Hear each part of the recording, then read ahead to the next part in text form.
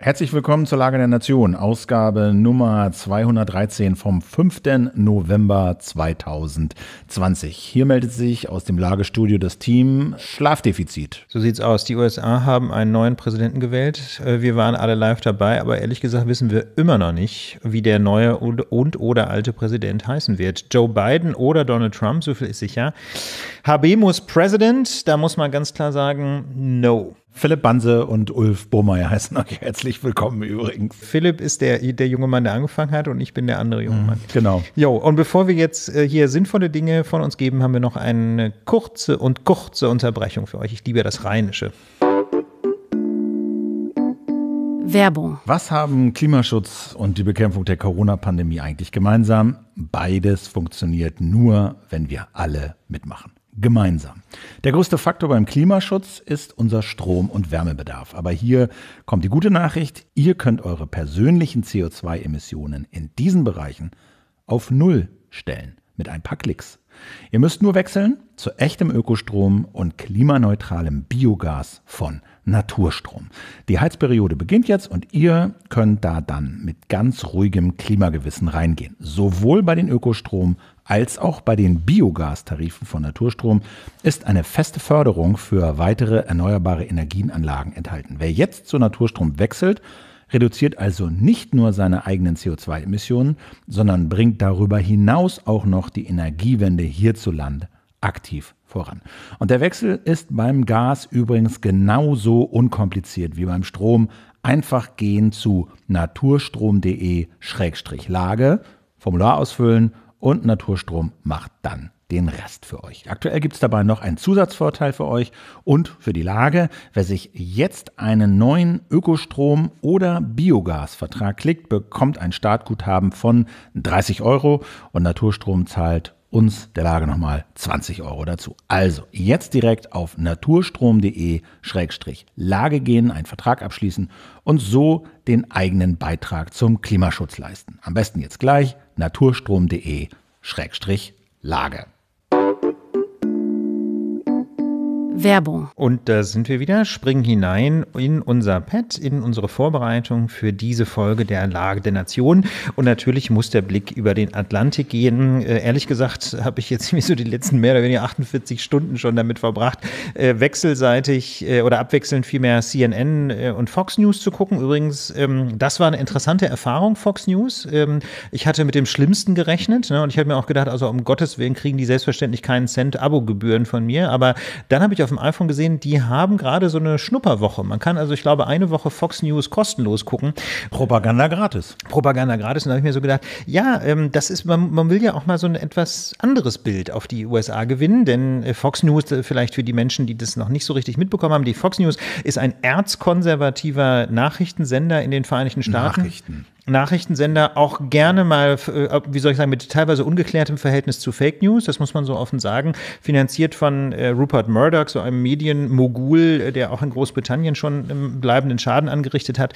Und ähm, der jedenfalls hat dann vor einigen Jahren sich überlegt, jetzt rollen wir mal die Medienlandschaft in den Vereinigten Staaten auf und hat eben diesen Sender Fox News groß gemacht. Ich weiß nicht, ob er ihn gegründet hat, Philipp, aber jedenfalls groß gemacht hat er ihn. Das weiß ich jetzt auch gar nicht. Ja. Naja, und aber es war das, das, das vielleicht nur eingangs. Also ich war sehr überrascht von dieser Wahl Wahlberichterstattung, denn das war wirklich gut gemacht. Also da habe ich ehrlich gesagt äh, mein Bild von Fox News doch mal relativiert. Aber Philipp, äh, bevor wir hier ins Schnacken kommen, was ist denn eigentlich der Stand der Dinge? Wir müssen sagen, wir wissen ja noch nicht, wer der Präsident ist, aber ein bisschen was kann man schon sagen. Die USA haben am Dienstag zumindest gewählt und es haben so viele Menschen in den USA gewählt wie bisher wohl noch nie. Jedenfalls schreiben das äh, Medien, dass kein Kandidat bisher so viel Stimmen bekommen hat wie Joe Biden in diesem Fall, weil der momentan noch führt.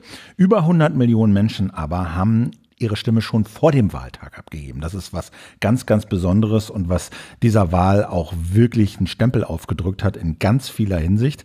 Es gab Briefwahl, die Leute haben halt einen Brief eingeworfen, die Leute haben auch ihre Stimme direkt in irgendwelche Kästen reingeworfen, die schon bereitstanden vor der Wahl. Und Stand ist jetzt, wir haben noch nicht den endgültigen Präsidenten, aber Biden hat die besten Chancen. So kann man, glaube ich, sagen. Das kann man, glaube ich, sagen. Also in den allermeisten Bundesstaaten steht der Sieger der Präsidentschaftswahl jedenfalls für diesen Staat auch schon fest. Warum das mit den Staaten so wichtig ist, erklären wir gleich nochmal. Aber jetzt stand Donnerstag nachmittags, waren doch eine ganze Reihe von Staaten auch noch nicht offiziell entschieden, wenn sich eben jeweils auch ein Trend abzeichnete. Insbesondere geht es um Arizona und Nevada, zwei Staaten im Südwesten der Vereinigten Staaten von Amerika, die alle allerdings selbst Fox News, wie gesagt, dieser im Grunde sehr Trump-freundliche Sender, schon ähm, mit so einem kleinen Tränchen im Auge mehr oder weniger für Biden ausgerufen hat. Und dann wirklich offen ist es zurzeit noch in Georgia, North Carolina und Pennsylvania.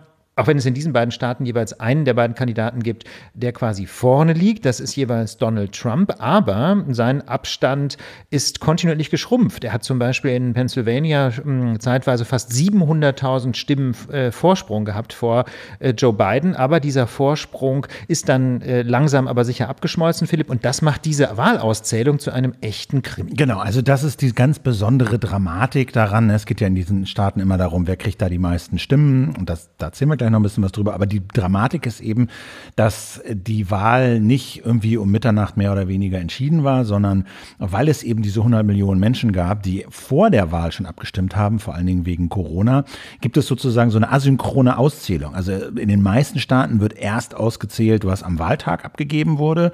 Das waren in, in der Mehrheit Trump-Wähler. So wurde das erst ausgezählt und in der Nacht waren dann sehr viele Staaten rot und überall lag Trump in Führung und erstmal schien es so, als würde der klar die Wahl gewinnen. Dann war aber auch klar, dass diese ganzen Stimmen, die vor dem Wahltag abgegeben waren, dass die dann ausgezählt werden und die in ihrer Mehrheit beiden Stimmen enthalten würden. Und so war es dann also, und daher kommt diese Dramatik, erst liegt überall Trump vorne und dann über die ganzen nächsten Tage, muss man fast sagen, holt Biden in vielen Staaten halt auf, rückt ran, rückt ran, rückt ran. Und alle fragen sich, ja, er rückt ran, es sind noch nicht alle Stimmen ausgezählt, aber wird das reichen in diesen Staaten, um Trump zu überholen? Und da sind wir jetzt. Ja, genau. Und das liegt ähm, an ganz interessanten Effekten. Also, wie gesagt, einige Staaten haben die Briefwahl auch schon vor dem Wahltag ausgezählt. Die haben dann natürlich am Wahltag äh, nach Schließung der Wahllokale ganz schnell erstmal diese ganzen schon ausgezählten Stimmen reportet. Ähm, und diese vorher abgegebenen Stimmen und vor allem die Briefwahlstimmen waren maßgeblich pro Biden. Das heißt, es gab durchaus auch einige Staaten mit dem umgekehrten Effekt, die erst so aussahen, als wenn Biden sie gewonnen hätte und dann holte Trump auf.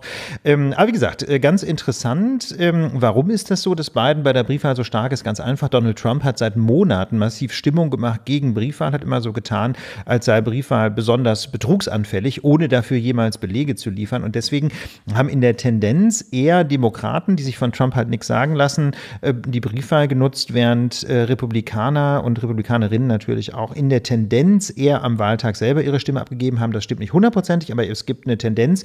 Und das führt dazu, dass von diesen äh, Briefwahlstimmen häufig bis zu 75 Prozent äh, für Biden abgegeben worden waren. Also was diese Briefwahl, da habe ich in der New York Times noch eine andere Begründung gelesen, die fällt mir jetzt aber nicht ein. Aber jedenfalls macht das den Käse nicht kaputt. Das ist einfach so. Die meisten haben für Biden mit Brief gewählt. Oh so, und weil das Problem nämlich ist, dass so viele Staaten zunächst mal quasi rot aussahen, also rot ist die Farbe der RepublikanerInnen, ja, und damit die Farbe von Donald Trump, weil also so viele Staaten vor, äh, zunächst mal rot aussahen, also sah es eben kurzzeitig so aus, als wenn Donald Trump auch die Wahl insgesamt gewinnen könnte. Was absehbar war, das wusste man vorher. Klar, dass die, dieser Effekt, ne, dass, dass Staaten sehr rot aussehen würden und dann langsam aber sicher vielleicht wieder zu beiden kippen würden, das war absehbar. Ähm, aber Donald Trump ähm, hat ähm, diesen Effekt natürlich beiseite gewischt, hat so getan, als wenn das schon dieses vorläufige Ergebnis der Auszählung schon das endgültige Ergebnis äh, wäre und hat sich zunächst mal schon ähm, zum Sieger ausgerufen. This is a fraud on the American public. This is an embarrassment to our country. We were getting ready to win this election. Frankly, we did win this election. We did win this election. So our goal now is to ensure the integrity for the good of this nation. This is a very big moment. This is a major fraud in our nation. We want the law to be used in a proper manner. So we'll be going to the U.S. Supreme Court. We want all voting to stop. We don't want them to find any ballots at four o'clock in the morning and add them to the list. Okay? It's, it's a very sad it's a very sad moment. To me, this is a very sad moment. And we will win this. And we, as far as I'm concerned, we already have won it. So I just want to thank you. Das haben wir jetzt mal in voller Länge gespielt, weil das schon ein historischer O-Ton ist. Das war ungefähr um halb drei hier bei uns. In der Nacht von Dienstag auf Mittwoch? Als weit davon entfernt war, dass irgendwas ausgezählt war.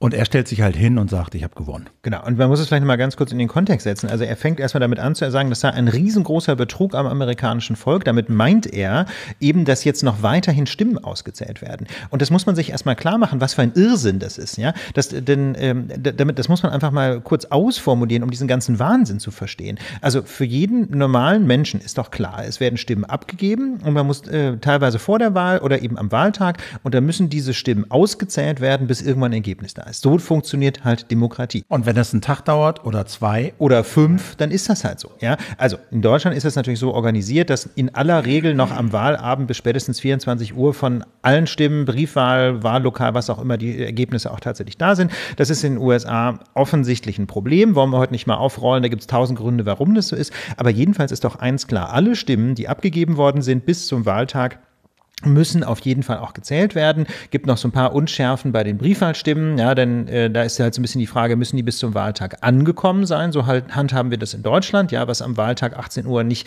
angekommen ist bei der Wahlbehörde, wird nicht mehr gezählt. In den USA ist es etwas großzügiger. Einige Bundesstaaten lassen Briefwahlbriefe sogar noch ein bisschen später als am Wahltag zu, sofern der Poststempel vom Wahltag stammt. Also da gibt es tatsächlich Unschärfen. Aber im Großen und Ganzen ist das demokratische Prinzip, alle Stimmen, die abgegeben worden sind, die den Anforderungen entsprechen, müssen auch gezählt gezählt werden. Und genau diese Normalität, diese Selbstverständlichkeit bezeichnet Donald Trump als einen Betrug am amerikanischen Wähler, weil sie natürlich möglicherweise dazu führen kann, aufgrund der Mechanismen, die wir eben beschrieben haben, dass er eine, eine zwischenzeitliche Führung bei der endgültigen Auszählung der Stimmen auch wieder verliert. Und er sagt Fraud zu einem Zeitpunkt, und das gilt bis heute, wo es nicht das geringste Anzeichen dafür gibt. Zero. Null. Es gab einen Rohrbruch, der dazu irgendwo geführt hat, dass mal kurzzeitig das Auszählen unterbrochen wurde. Aber das war es an Zwischenfällen. Und, und der fantasiert also seit Monaten davon, dass diese Wahl äh, letztlich auf Betrug beruhe und dass, keine Ahnung, die Chinesen und die Demokraten und wer sonst nicht irgendwelche gefälschten Wahlbriefe in, in Umlauf bringt. Nichts davon ist irgendwie belegt worden. Es ist also einfach reine Fantasie ähm, und gleichwohl erzählt Donald Trump irgendwas von Fraud und da muss man schon sagen, das ist, äh, das ist halt einfach letztlich, also in auf, der, auf CNN meinte einer der Moderatoren, das ist letztlich das Verhalten eines Autokraten. Ne? Also letztlich eines, also in deutscher Terminologie würde man sagen, eines Diktators, der ähm, letztlich die Integrität einer Wahl ohne jeden Grund anzweifelt, einfach nur um sich vorzeitig zum Sieger erklären zu können. So im Grunde so Lukaschenko-Manier. Und dann ging das natürlich auf Twitter weiter. Der hat auch gesagt, wir haben gewonnen. Und dann schreibt er noch, they are finding Biden votes all over the place in Pennsylvania, Wisconsin, Michigan. So bad for our country.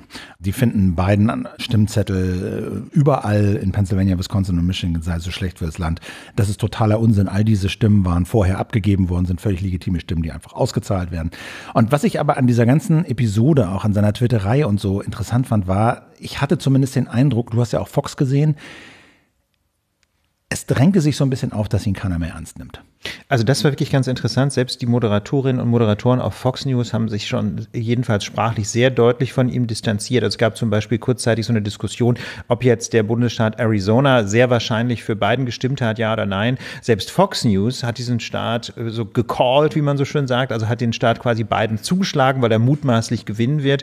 Ähm, und das Weiße Haus hat dann so getan, als wenn noch alles offen wäre in Arizona. Und, ähm, mhm. und, und, und da sagte, sagten dann selbst die, äh, die Moderatoren, ja, das, das Weiße Haus hat halt Quatsch erzählt. Ne? So als sei das was völlig Normales. Also selbst, selbst die scheinen irgendwie Donald Trump inzwischen nicht mehr anzunehmen. Und ähm, wenn man sich Donald Trumps Twitter-Feed anguckt, muss man sagen, der retweetet inzwischen nicht mal mehr konservative Medien, die so noch so halbwegs seriös rüberkommen, wie eben zum Beispiel Fox News. Der ähm, hat sich inzwischen darauf, dazu verstiegen, im Grunde nur noch Breitbart zu zu, retweeten. Ne? Also so ein, so ein Verschwörungstheorien-Medium aus den USA vom, vom äh, ganz rechten Rand. Also das ist schon, das ist schon einfach wirklich erschütternd, wenn man muss sich überlegen, es ist Stand heute Donnerstagnachmittag durchaus möglich, dass der Mann weitere vier Jahre im Weißen Haus sitzt. Es ist die unwahrscheinlichere Variante, aber es ist nicht völlig ausgeschlossen. Ich finde, das ist der absolute Albtraum. Ich hatte auch zwischenzeitlich wirklich richtig, richtig schlechte Laune. Also äh, man wusste zwar, dass da irgendwann diese Briefwahlzettel noch irgendwie ausgewertet werden. Man hat gehofft, alles wird gut, so ungefähr. Ne? Aber ja. niemand hat das je erlebt, niemand wusste, was da jetzt noch kommt. Und diese Vorstellung, dass wir mit diesem Lügner, diesem Räuber, diesem Gesetzesbrecher, Ja. diesem korrupten Autokraten, noch vier Jahre leben müssen. Absurd, oder? Also es war völlig absurd. Horror. Ja, mal ganz ehrlich, Philipp, ähm, ich, mir, mir hat das genauso wie dir extrem schlechte Laune gemacht und ich mache mir natürlich auch einfach massiv Sorgen um die USA. Ne? Ich meine, ich habe in dem, in dem Land ein Jahr gelebt, ich war schon x-mal zu Besuch da. Ich habe, wie soll ich sagen, ein sehr enges emotionales Verhältnis zu den USA. Ne? Also ich sehe da, ich sehe da vieles kritisch natürlich, aber politisch, das machen wir ja auch in der Lage mal wieder deutlich, aber meine persönliche Grundhaltung gegenüber den USA ist eine außerordentlich positive, ne? Weil äh, ich einfach dadurch, dass ich da so viel Zeit verbracht habe, glaube ich auch eine ganze Menge Dinge gut verstehe äh, oder jedenfalls irgendwie nachvollziehen kann, die uns so komisch vorkommen und so. Und das ist für mich einfach total bitter zu sehen, wie auch die Menschen in dem Land leiden unter dieser Führung, weil, äh, weil ja auch ganz viele politische Fragen offen bleiben, weil der Mann sich halt darum nicht kümmert und nur um seine Wiederwahl gekümmert hat. Das muss man natürlich sehen müsste er dann nicht mehr, wenn er im Weißen Haus bliebe. Ja, ähm, aber ähm, ja, ich hatte da auch zwischendurch richtig, richtig schlechte Laune. Aber gut, wir wollen jetzt, äh, wir wollen nicht nur ranten, wir wollen Ein bisschen auch erklären. erklären. Und wir haben uns für diese Folge überlegt, ähm, was ja wirklich sehr skurril ist, ist dieses Problem äh, oder dieses System, mal erstmal neutral formuliert, das, das System mit dem äh, sogenannten Wahlmenschengremium, Philipp. Was hat es denn damit eigentlich auf Ja, sich? also das ist der Hintergrund, vor dem sich das alles abspielt. Momentan geht es ja immer um diese Staaten und im Kern geht es eigentlich darum, welcher der beiden Kandidaten, gibt auch noch andere, aber die zählen im Prinzip nicht, sondern es gibt nur diese beiden letztlich. Wer bekommt da eigentlich in jedem Staat die Mehrheit und da reicht dann eine Stimme und wer diese eine Stimme Mehrheit bekommt, der bekommt halt die sogenannten Wahlmenschen dieses Staats zugeschlagen. Und das ist also keine direkte Wahl, ja, diese sogenannte Popular Vote, also der simple Vergleich, wer von den beiden hat halt in den gesamten USA die meisten Stimmen eingesammelt.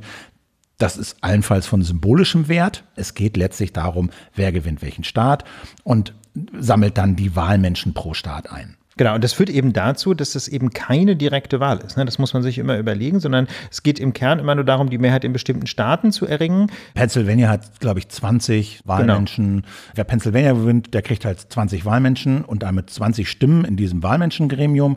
Und wer zuerst 270 von diesen Wahlmenschen zusammen hat, die dann in diesem Gremium am 14. Dezember für ihn stimmen, der ist halt Präsident. Genau, ne? die Verfassung sagt auch, wie viele Wahlmenschen jeder Staat bekommt.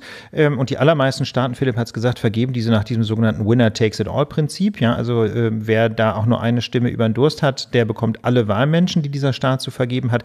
Und ähm, der Witz dabei ist allerdings, dass diese ganzen Regeln, obwohl es um die Wahl des Präsidenten auf Bundesebene geht, nicht in der Verfassung des Bundes, also in der äh, US-Verfassung geregelt sind, sondern ähm, diese Frage verweist quasi die Bundesverfassung an die Staaten. Ja, das heißt also, die, äh, die Bundesverfassung der USA gibt insbesondere den sogenannten Legislators, also quasi der gesetzgebenden Körperschaft in den einzelnen Bundesstaaten, das Recht zu entscheiden, wie die jeweiligen Wahlmenschen, die sogenannten Electors dieses Staates eigentlich bestimmt werden. Also es wird nur gesagt, wer Pennsylvania gewinnt, hat 20 Wahlmenschen. Pennsylvania muss 20 Wahlmenschen schicken, die dann abstimmen. Aber wer diese Wahlmenschen sind und wie sie bestimmt werden, das ist eigentlich nirgendwo geregelt. Das kann jeder Staat für sich selber regeln. Und das muss nicht zwangsläufig damit zu tun haben, wer diesen Staat gewonnen hat. Nee, muss, also jedenfalls steht nirgendwo, dass das so ist. Das ist, wenn man so will, so eine Art Verfassungstradition auf Bundesebene, dass, ähm, dass die ähm, Mitgliedstaaten diese, die, diese Electors eben inzwischen über eine Direktwahl vergeben. Theoretisch wäre aber auch denkbar, dass zum Beispiel in den jeweiligen Staatenparlamenten ähm, irgendwie einfach eine Abstimmung stattfindet. Oder zum Beispiel so wie das ja ähm, bei der Wahl zum Bundespräsidenten in Deutschland ist, dass auch die deutschen Landtage jeweils die, die Delegierten in diese sogenannte Bundesversammlung entsenden. Das macht man in den deutschen Landtagen proportional nach dem Stimmenverhältnis in dem jeweiligen Landtag. Ne? Das wäre natürlich auch ähm, mit der US-Verfassung vereinbar. Da müsste halt der Bundesstaat regeln. Bei uns wählt ähm, der, ähm, der, der, das Parlament auf Staatenebene die Electors nach dem Verhältnis der Sitze im Parlament. Das wäre nach, aus der Perspektive der, der US-Verfassung absolut legal. Es wäre allerdings wohl ein Bruch der Verfassungstradition, dass eben die Präsidentschaftswahl seit ewig und drei Tagen als Direktwahl des Volkes stattfindet, aber eben nicht Direktwahl des Präsidenten in einem Schritt, sondern Direktwahl der sämtlicher Electors auf Staatenebene und die wählen dann eben den Präsidenten in, äh, in ihrer Sitzung im Dezember. Diese Electors sind im Prinzip schon ausgewählt in den Staaten. Also das machen die Parteien dann in den Staaten, legen die halt fest, wer für den Fall, dass sie gewinnen, für sie da in dieses Wahlmenschengremium einziehen wird. Aber jetzt wäre es ja auch ein, und das war so eine Idee, die ich hatte, also wenn jetzt Trump versucht, im Falle er verliert, die normale Wahl und er versucht, das noch zu ändern und zu torpedieren. Hältst du das für möglich, dass er Staaten, die republikanisch regiert sind, vorschreibt, sie zwingt, auffordert, einfach zu sagen, Leute, ja, Biden hat in eurem Staat gewonnen, ihr müsstet eigentlich Bidens Leute in diese Konferenz schicken, aber da die Staaten das bestimmen, da die Regierungen und Parlamente das bestimmen und da ich Donald Trump sage, es war alles Betrug, bitte schickt mal meine Leute in diese Konferenz. Also das ist, äh, das ist natürlich auf den ersten Blick völlig undenkbar, ne? weil das eben brechen würde mit diesem Prinzip, dass äh, die Electors durch eine Wahl, eine direkte Wahl äh, durch die Menschen in dem Staat bestimmt werden. Aber aus der Perspektive der US-Verfassung wäre das wahrscheinlich völlig legal, denn da steht es einfach nur, dass die, dass die Legislators auf Staatenebene diese Electors bestimmen müssen. Ja, und wenn jetzt tatsächlich in einem Bundesstaat das, das Gesetz so wäre, dass äh, zum Beispiel im Falle eines Disputs über die Frage, wer den Staat gewonnen hat, äh, das Staatenparlament die Electors bestimmt, dann wäre das jedenfalls aus der Perspektive der Bundesverfassung kein Problem. Und interessanterweise gibt es gerade sogar einen rechtlichen Streit um die Frage, ob ähm, das überhaupt gerichtlicher Kontrolle unterliegt. Ja, also der Supreme Court ist gerade zutiefst gespalten über die Frage, ob die Entscheidung, wer, wen ein Staat nach Washington schickt in das Gremium, überhaupt der äh, justiziellen Kontrolle durch den Supreme Court unterliegt. Ne? Also da gibt es also die konservativen Richter im Supreme Court neigen, das, Brad Kavanaugh hat das schon sehr deutlich gemacht, neigen offenbar der Meinung zu, da, da dürfe einfach niemand ähm, den Legislator reinregieren, weil eben die Bundesverfassung die Aufgabe der Benennung dieser Electors nicht dem Staat insgesamt äh, zugeteilt hat, was dann ja alle drei Gewalten des Staates wären, sondern explizit den Legislators, also nur quasi der gesetzgebenden Gewalt in dem Bundesstaat.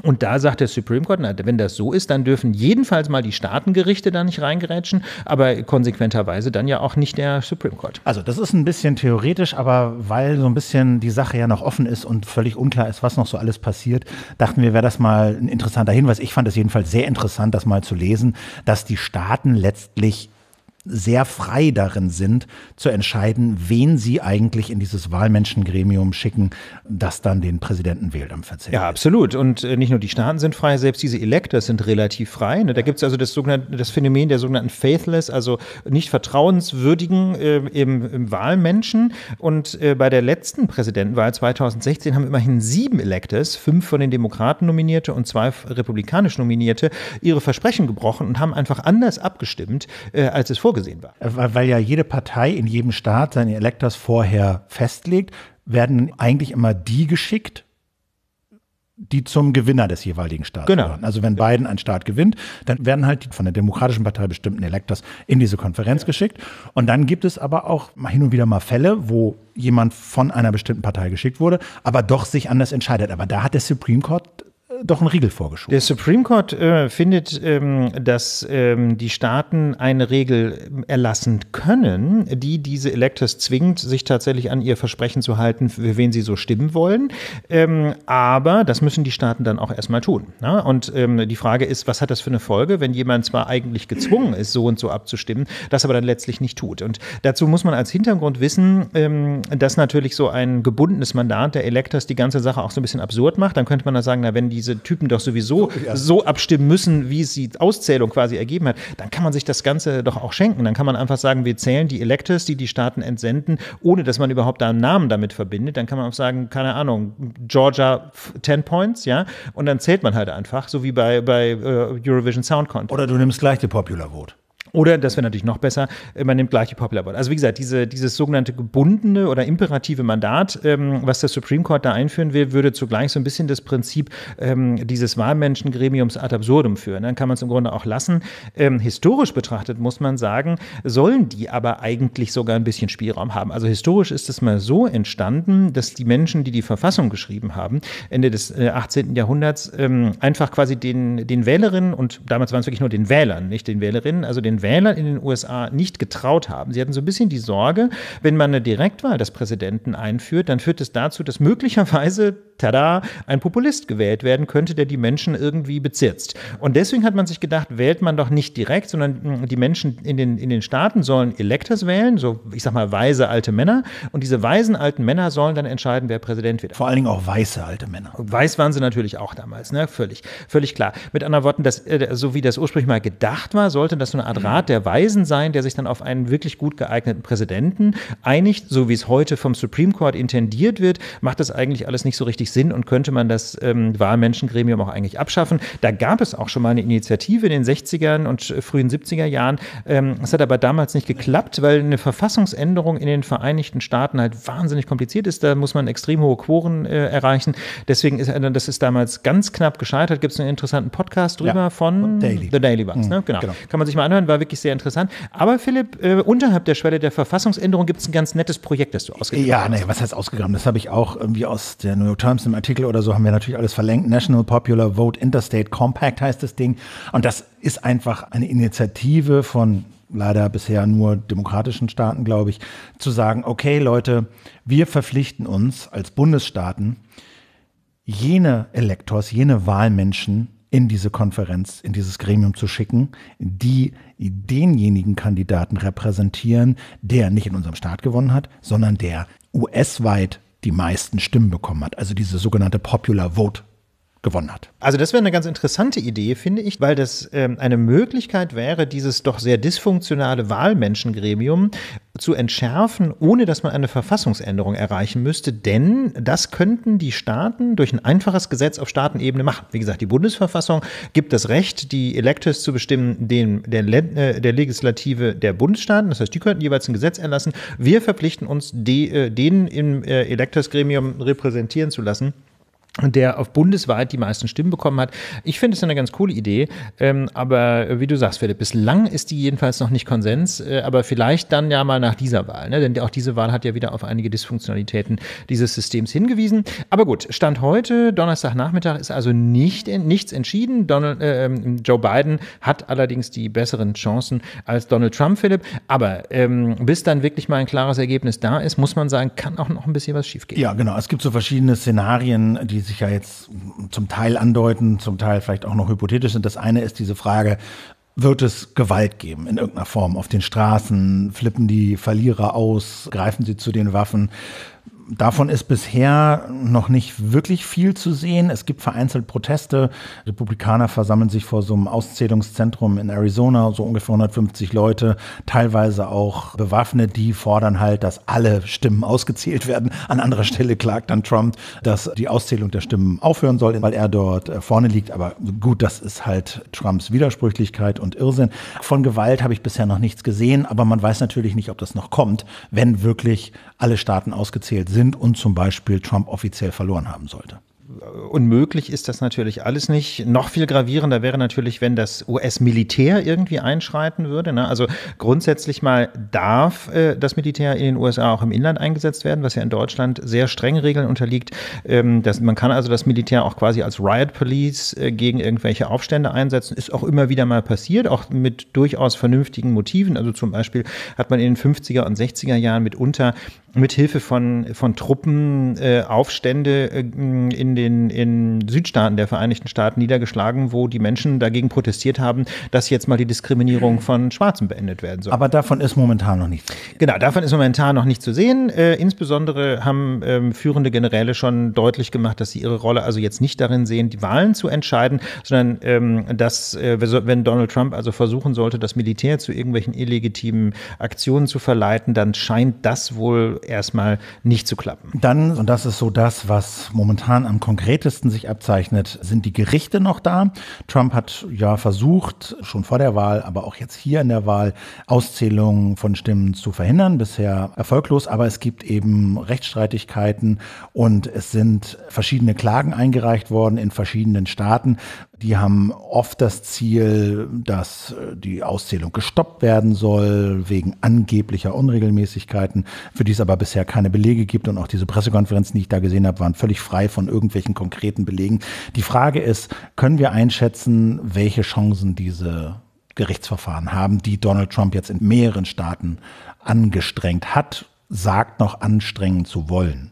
Tja, also ehrlich gesagt äh, muss man natürlich sagen, also Klagen sind als solches ja erstmal kein Problem, ne? Rule of Law und so. Ja. Also grundsätzlich mal darf in einem Rechtsstaat jeder auch versuchen, gerichtliche Verfahren einzusetzen. Ähm, also ich finde es nicht als solches ein Problem, äh, auch zu Gericht zu gehen, wenn man glaubt, dass es zu Rechtsverstößen gekommen ist. Ne? Gerade als unterlegener Kandidat hat man dazu äh, natürlich allen Anlass. Äh, und man muss sehen, Trump hat hunderte neue Richterinnen und Richter ins Amt gebracht, ne? Die, weil das ja sein Recht Die müssen ja zu irgendwas gut sein, ne? Ja, man mag es ja. ja nicht so laut sagen, aber jedenfalls ist es eben, äh, ist es ja eben eines der der Ziele der Republikanischen Partei seit, seit Jahrzehnten, eben die Gerichte einzusetzen für ihre konservative Agenda, die eben häufig keine Mehrheit mehr in der Bevölkerung hat. Und, ähm, und, und das hat unter Trump wunderbar geklappt. Ich habe die genaue Zahl nicht im Kopf, aber es ist jedenfalls dreistellig, wie viele Richter Donald Trump an Bundesgerichten untergebracht hat. Du, Philipp, aber welche Chancen diese Klagen jetzt haben, finde ich, ist sehr, sehr schwer einzuschätzen, schlicht und ergreifend, weil es da immer um sehr interessante Details geht. In einem Fall hat Donald Trump sich zum, oder sein Team sich dagegen gewendet, dass 53 Stimmen gewählt werden, aus, äh, gewählt, gezählt werden aus einem ganz bestimmten Wahlbezirk mit irgendeinem schrägen Vorwand. Ja, also das ist extrem kleinteilig. Mhm. Ähm, äh, wir, wir können das an dieser Stelle nicht aufarbeiten. Dazu gibt es auch nicht die nötigen Informationen. Ähm, was man aber sagen kann, so ganz generell, also Gerichte können nicht über den Ausgang einer Wahl direkt befinden, grundsätzlich mal auch nicht das Supreme Court. Und sie sind auch nicht ähm, dafür zuständig zu prüfen, ob äh, jetzt Stimmzettel richtig ausgezählt worden sind. Zunächst mal jedenfalls nicht. Aber Gerichte können natürlich über die Rechtmäßigkeit von Verfahren entscheiden. Sie können Rechtmäßigkeit von Ausschlussfristen prüfen, Regeln für die Auszählung der Stimmen. Und damit können sie eben mittelbar auch durch durchaus Stimmen von der Wahl ausschließen. Ähm, aber wie gesagt, wie das jetzt im Einzelnen ausgehen wird, ist äh, aus, aus heutiger Sicht noch nicht zu sagen. Das große Risiko, das ich sehe bei diesen gerichtlichen Verfahren, liegt eigentlich eher darin, dass es halt jetzt möglicherweise noch mehr Unsicherheit geben könnte. Ne? Wenn jetzt zum Beispiel Stimmen erstmal ausgezählt werden, in das Ergebnis reingerechnet werden, aber dann hinterher wieder rausgerechnet werden müssen, weil Gerichte zu dem Ergebnis kommen, so und so viele Stimmen dürfen eben doch nicht gewertet werden, dann könnte das eben zu Unsicherheiten führen, wer jetzt welchen Staat gewonnen hat und schlimmstenfalls äh, zu einer wochenlangen Debatte. Ne, das hatten wir ja, haben wir in der Lage auch schon mal erwähnt, 2000 so. Also dass insgesamt so eine Art von Klima der Unsicherheit, der Unklarheit entsteht, von Chaos und sich so der Eindruck von Irregularität ja. verstärkt. Und das wollen wir ja nun nicht. Wo sich ne? dann wieder Leute legitimiert sehen, weiß ich nicht, gewaltsam vorzugehen und illegitime Schritte zu machen. Ich denke, damit haben wir so den, den Stand jetzt ganz gut beschrieben. Die, die Umfragen, ja, kann man jetzt lange drüber dementieren, gab natürlich wieder Überraschungen, dass das so knapp wird, glaube ich, hatten die Umfragen vorher nicht vor, vorhergesehen. Ich denke, da wird noch ein bisschen drüber zu reden sein. Aber das eigentlich Interessante ist doch, dass wir feststellen müssen, Donald Trump war offensichtlich kein Unfall. Und dass selbst wenn Biden jetzt gewählt werden sollte, nicht alles wieder tutti ist, sondern dieses Land zutiefst gespalten ist. Donald Trump wird von vielen, vielen Millionen Menschen gewählt worden sein. In jedem Fall. In jedem, ja, Fall, in jedem Fall. Auch wenn es dann am Ende vielleicht knapp nicht ganz reicht. Aber ich glaube, ähm, so sehr wir auch erleichtert sein würden, wenn Biden gewinnt, wir gehen nicht wieder auf den Status quo ante. Nein, also Donald Trump hinterlässt die Demokratie in den Vereinigten Staaten massiv geschwächt. Das lässt sich jetzt schon sagen. Er hat ähm, dazu beigetragen, das Vertrauen in die demokratisch legitimierten Institutionen zu erodieren. Er hat ähm, massiv dazu beigetragen, den Supreme Court zu politisieren, indem er eben keine gemäßigten Richterinnen und Richter aus der Mitte quasi an das Gericht berufen hat, sondern extrem konservative Kandidatinnen und Kandidaten, die das Gericht eben zu, also jedenfalls in den schweren Verdacht oder in den dringenden Verdacht manövrieren, quasi letztlich ein Parteigericht der Republikaner zu sein. Das ist für kein Gericht gut. Ähm, der Chief Justice, also quasi der Präsident des Supreme Court, John Roberts, hat lange Zeit versucht, äh, quasi so selber Swing Vote zu spielen, um diese Politisierung möglichst aufzuhalten, jedenfalls in vielen Verfahren. Aber das ist natürlich jetzt mit dem 6 zu 3 Stand am Supreme Court endgültig vorbei. Und ähm, was man, glaube ich, auch wirklich gar nicht laut genug sagen kann, ist, dass Donald Trump natürlich die Medienlandschaft in den Vereinigten Staaten dramatisch geschwächt hat, indem er einfach ähm, reihenweise Medien als Fake News bezeichnet oder die, die Fake New York Times oder die Failing New York Times ja. und so Auf der einen Seite ist das sicherlich so. Im großen Teil hat er sicherlich da auch Glaubwürdigkeit untergraben. Auf der anderen Seite kann man aber auch sagen, sie wurden enorm gestärkt in bestimmter Hinsicht, weil ihre Bedeutung klar geworden ist in vielen Bereichen. Ich glaube, das ist so ein bisschen abhängig davon, in welcher ja, Bevölkerungsgruppe, aus welcher Hälfte des Landes du das betrachtest. Wenn du das aus einer liberalen Position betrachtest, dann hat, glaube ich, so ein Medium wie die New York Times enorm an Ansehen und, und Bedeutung gewonnen, weil klar geworden ist, wie wichtig es ist, solche Medien zu haben. Ja, und wenn du im Trump-Lager bist, dann mag das so sein. Also ja, aber Philipp, ganz ehrlich, das, genau das ist doch mein Punkt. Damit ist doch die Demokratie in den USA massiv geschwächt worden, wenn, wenn man eben davon ausgeht, dass Medien systematisch lügen. Auch wenn das jetzt nicht alle betrifft. Auch wenn das nicht alle ja. für richtig halten, ist es doch, bleibt, wenn man also mal davon ausgeht, dass eine Demokratie ja nicht nur von einer Hälfte der Bevölkerung ja. lebt, sondern von allen Leuten, die dieses Land äh, ausmachen, ja, ähm, dann, dann muss man doch schon sagen, ist die Demokratie, nimmt die Demokratie doch massiv Schaden, wenn äh, die Hälfte der Bevölkerung nur noch bestimmten Medien glaubt und davon ausgeht, dass die New York Times systematisch lügt. Also da muss man, das finde ich ist schon ein ganz massiver Flurschaden, der da, äh, der da eingetreten ist. Und da weiß ich auch nicht, wie der sich so halbwegs, halbwegs zeitnah ähm, wieder reparieren lassen mag. Also man fragt sich ja wirklich, wie um alles in der Welt können nach all dem, was in diesen letzten vier Jahren passiert ist, so viele Menschen Donald Trump wählen. Ja. Corona, Lügen, Korruption, also wirklich, wir haben da oft genug drüber geredet und man fragt sich, wie können so viele Menschen diesen Mann wählen? Und ich glaube, das hat auch was damit zu tun mit einem Phänomen, was ja auch oft beschrieben wurde, diesem Tribalism, also dieser Idee, dass man sich nicht bestimmten Inhalten nahe fühlt und ausrichtet sich danach, sondern einem Stamm zugehörig fühlt. Dass du sagst, mir ist letztlich so ein bisschen egal, was dieser Mann tut oder macht. Er gehört zu meinem Stamm und deswegen wähle ich ihn. Und das ist eine Art, diese Spaltung des Landes zu beschreiben. Und ich glaube, das ist auf jeden Fall ein Erklärungsansatz, dass die Leute zum Teil gar nicht mehr so richtig drauf geachtet haben, wofür steht er eigentlich, was macht er eigentlich, was sagt er eigentlich, sondern sie haben sich diesem Stamm einsortiert und also wählen sie ihn.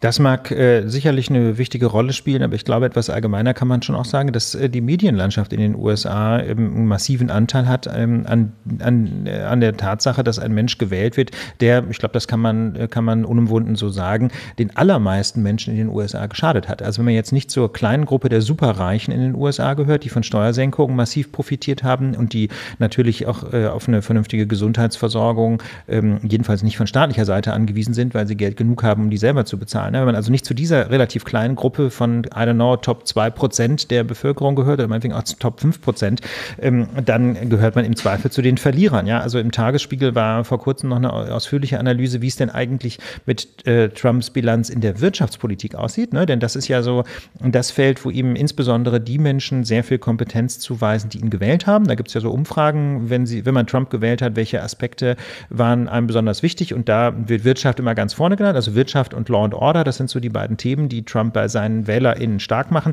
Und ähm, seine Bilanz in der Wirtschaftspolitik ist katastrophal. Ja? Also nicht mal diese, dieser starke Nationalismus, wo er ähm, alle möglichen Handelsabkommen gekündigt hat und einen Handelskrieg mit China angezettelt hat. Ja? Also nicht mal dieser quasi handelspolitische Nationalismus hat irgendwelche messbaren Vorteile für die USA mit sich gebracht. Also zwar ist das Handelsbilanzdefizit im Verhältnis USA-China gesunken, aber die Importe kommen jetzt eben nicht äh, oder, äh, sind nicht etwa entfallen. Ja, das, die Produkte werden jetzt nicht etwa äh, in den USA hergestellt, sondern die kommen jetzt eben nicht mehr aus China, sondern aus aus Vietnam oder aus Taiwan. Ja? Mit anderen Worten, selbst, auf, selbst in diesem ganz schmalen Bereich der Wirtschaftspolitik, was Donald Trump wahrscheinlich so für seine, für seine wichtigsten Errungenschaften halten würde, selbst da ist er gescheitert. Ein sehr interessanter Artikel im Tagesspiegel äh, haben wir auch in den Show Notes.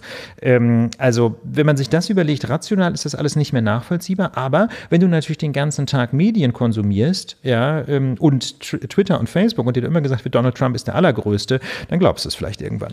Es wurde ja jetzt aber auch nicht nur der Präsident gewählt, sondern auch auch Teile des Parlaments. Dieses Parlament besteht ja aus zwei Kammern. Das eine ist das Repräsentantenhaus, das ist die erste Kammer und die zweite Kammer ist der Senat und da werden regelmäßig Teile zumindest äh, neu gewählt. In der ersten Kammer, dem Repräsentantenhaus, da hatten die Demokraten schon eine Mehrheit und da ist es im Kern auch bei geblieben. Ne? Ja. Und dann wurde noch gewählt der Senat, beziehungsweise Teile des Senats, ein Drittel des Senats. Und da war die große Frage, Senat sind 100 Senatoren, Drittel wurde neu gewählt. Die Republikaner hatten eine leichte Mehrheit.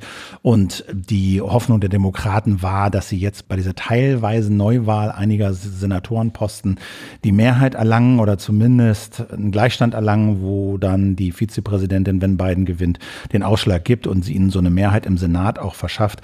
Das ist, hat aber aller Voraussicht nach nicht geklappt. Es gibt, glaube ich, im Dezember noch eine Nachwahl von zwei Senatoren und wenn die an die Demokraten gehen, dann gibt es so eine leichte Chance auf einen Patt. Aber dass die beiden Senatorenposten an die Demokraten gehen, das ist, glaube ich, unwahrscheinlich. Ja, also das ist, äh, wie gesagt, alles so ein bisschen unter Vorbehalt. Wir sind Donnerstagnachmittag, die äh, Auszählung ist nicht beendet. Aber es sieht danach aus, als wenn im Parlament auf Bundesebene in den Vereinigten Staaten im Wesentlichen alles beim Alten bleibt. Aber ähm, es gibt äh, etwas Fortschritte im Bereich Diversity, das soll am Rande noch, äh, noch vermeldet werden, äh, nämlich die erste Transperson ähm, ist äh, in, ins Parlament gewählt worden, habe ich heute auf Twitter gelesen. Und ja. Äh, eine Vertreterin von QAnon sitzt auch im Parlament.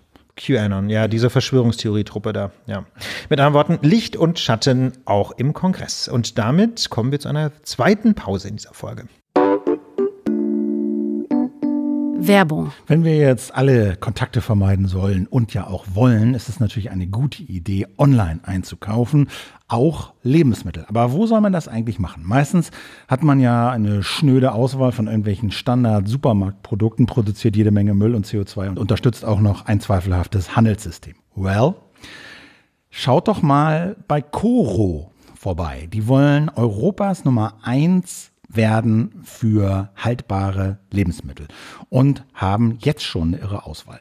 Brotaufstriche, Snacks, Öle, Nüsse, Getreide, Gewürze, Soßen, Fleischalternativen, Säfte, Kaffee, Süßigkeiten, Trockenfrüchte, wirklich alles. Vom Spinatpulver über Adventskalender, Mixer und Brotdosen und wirklich ganz schöne Aufbewahrungsbehälter.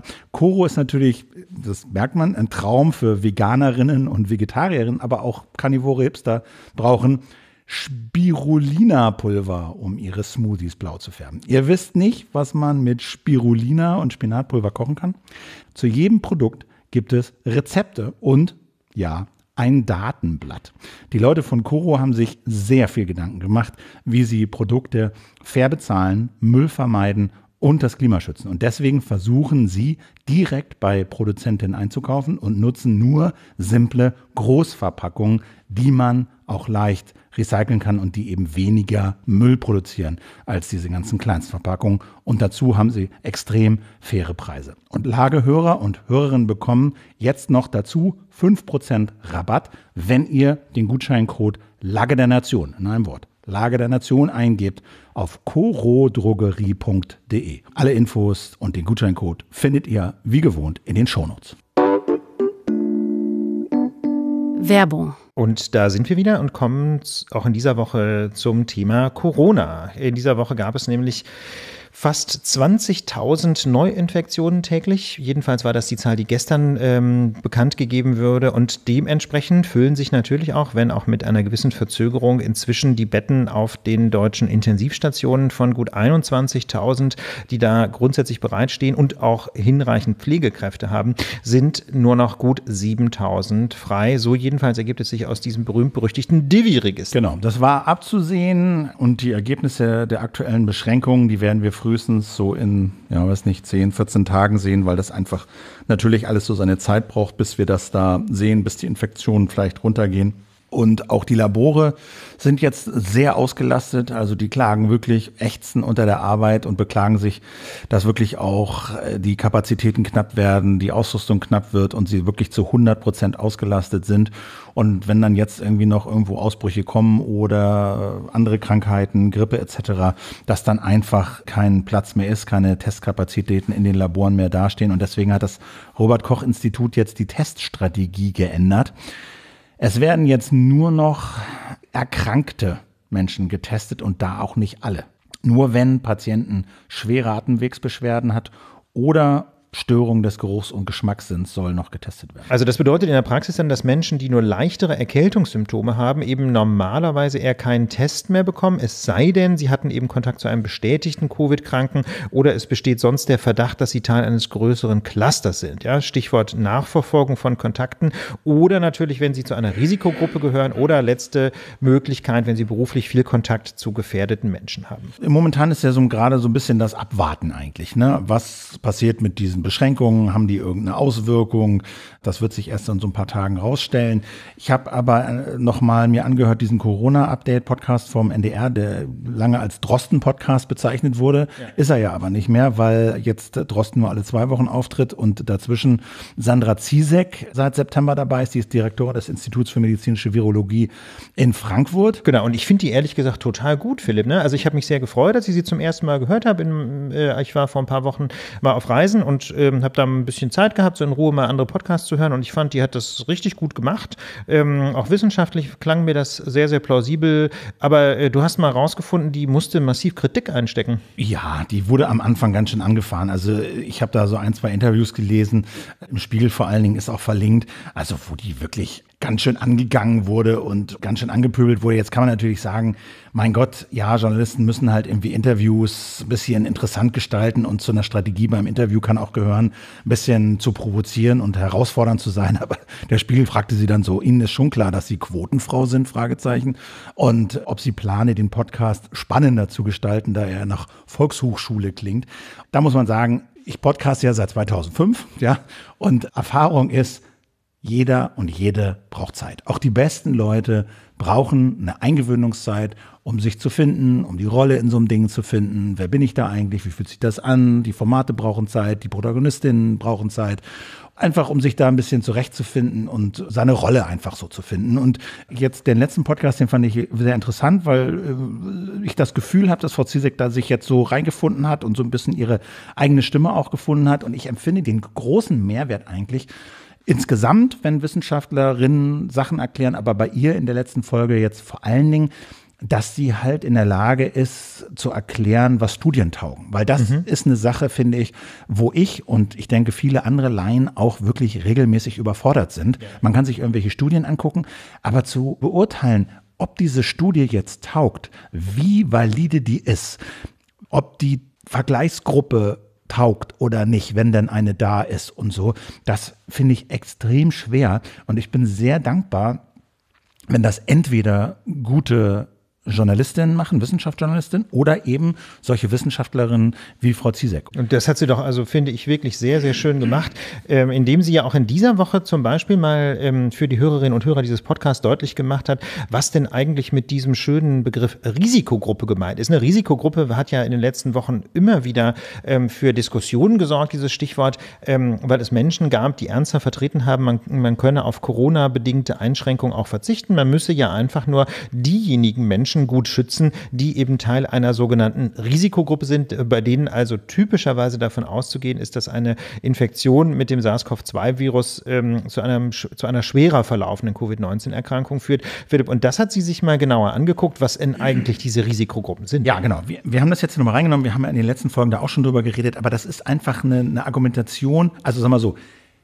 wenn irgendeine Gegenargumentation gegen die aktuellen Beschränkungen kommt, dann ist das Argument ganz häufig verbunden mit, wir müssen Risikogruppen schützen und dann haben die anderen mehr Platz und mehr Freiheiten. Genau. Und deswegen ist es natürlich spannend zu erfahren, wer gehört denn da eigentlich dazu? Ist denn das realistisch? Man denkt ja. immer so Risikogruppe, ja, Risikogruppe, na gut, okay, da sind ein paar Kranke und ein paar Alte und so, ja, und die schützen wir dann. Aber sie hat das halt nochmal anhand dieser Studie des Wissenschaftlichen Instituts der AOK auseinandergenommen. Und die AOK, wissen wir, große Krankenkasse, sehr viele Menschen, die dort versichert sind. Die haben sich ihre Zahlen angeguckt, wer bei uns hat eigentlich solche Vorerkrankungen und zählt damit zur Risikogruppe und hat dann hochgerechnet auf die gesamte Bevölkerung. Also wenn das bei uns so und so so viele sind, dann können wir davon ausgehen, dass das bundesweit so und so viele sind. Und da sind die auf Zahlen gekommen, fast 22 Millionen Menschen zählen demnach in der Bundesrepublik aufgrund von Vorerkrankungen zu dieser Risikogruppe. Und das ist noch konservativ gerechnet, weil die nur gesagt haben, Vorerkrankungen haben nur Menschen, die auch Medikamente nehmen.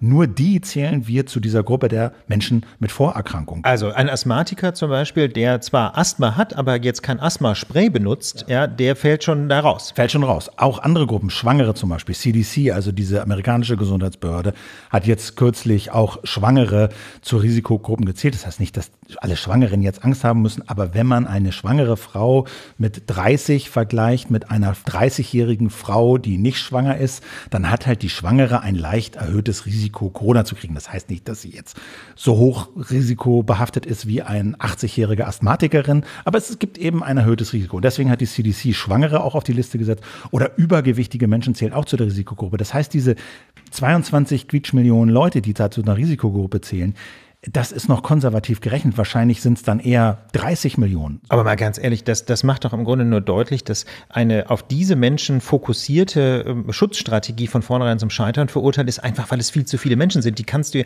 du kannst ja nicht mehr als ein Viertel der deutschen Bevölkerung sinnvoll abtrennen vom Rest der Bevölkerung. Ne? Also du kannst das vielleicht theoretisch noch mit Menschen, die in Altenpflegeeinrichtungen leben. Das mag vielleicht noch funktionieren, dass man die irgendwie vom Rest der Bevölkerung weitgehend abschirmt, aber das ist schon schwierig, wenn man dann im Zweifel auch die Pflege Pflegekräfte da mehr oder weniger mit einmauern müsste, ne? oder die, die betreuenden Personen da mit einmauern müsste. Und selbst da gibt es schon massive technische Probleme. Und ich meine, wie soll das funktionieren? 22 Millionen Menschen, die dann, die natürlich zum Teil auch in systemrelevanten Berufen arbeiten. Wie sollen die denn alle isoliert werden? Ja, zumal es auch äh, lokal unterschiedliche Clusterungen gibt. Da es gibt irgendwie Bereiche, Orte, Kreise, da sind 40, 50 Prozent der Menschen zu dieser Risikogruppe Ups. zählend. Ja, also wie soll das funktionieren? Ich fand das einfach ganz interessant, dass wir, dass wir irgendwie ein Viertel bis ein Drittel der Bevölkerung hier Risikogruppen sind. Und das macht doch schon nochmal deutlich, wie schwierig das ist. Und das schlägt auch die Brücke zu diesem Vorschlag, den Henrik Streeck, dieser Leiter der Virologie an der Uni Bonn, in der vergangenen Woche oder war es schon vor zwei Wochen, jedenfalls hatten wir das in der letzten Lage gemacht hat, zusammen mit der Kassenärztlichen Bundesvereinigung, also dieser Vereinigung der niedergelassenen Ärzte, die im Kern eben gesagt haben, wir müssen Risikogruppen schützen und die irgendwie versorgen und dann hat der Rest der Bevölkerung mehr Freiheiten. Und das Interessante daran ist zweierlei. Erstens, diese Stellungnahme wurde so präsentiert mit den Namen zahlreicher fachärztlicher Verbände.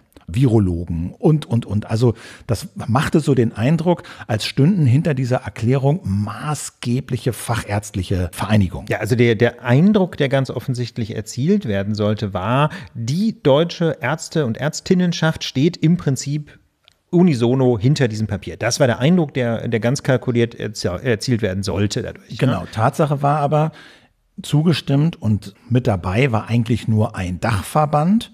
Und viele fachärztliche Verbände, die unter diesem Dachverband organisiert waren, wurden dann mit auf dieses Papier gesetzt und haben sich dann aber danach, nicht alle, aber doch in maßgeblicher Größenordnung und Anzahl davon distanziert und haben gesagt, damit wollen wir nichts zu tun haben, davon wussten wir nichts, wir haben aus den Medien erfahren, wir gehören nicht dazu.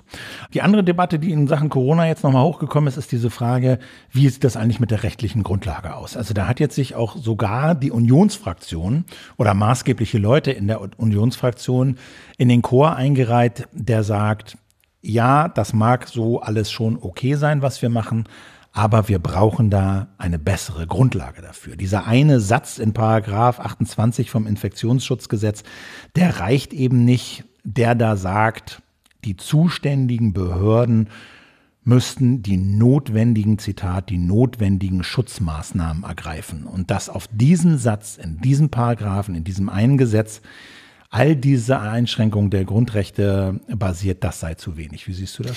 Ja, das ist in der Tat ein großes Problem. Wir hatten das in der Lage auch schon verschiedentlich angesprochen. Ich habe da vor kurzem auch einen, einen, kleinen Aufsatz zu veröffentlicht in einem äh, Sammelband. Ähm, Recht gegen Rechts heißt der, der unter anderem von Ronen Steinke mit herausgegeben wird, Innenpolitikredakteur der Süddeutschen Zeitung, ähm, den wir hier vor ein paar Wochen ja auch im Interview hatten, ne, zur Gewalt gegen Juden in Deutschland.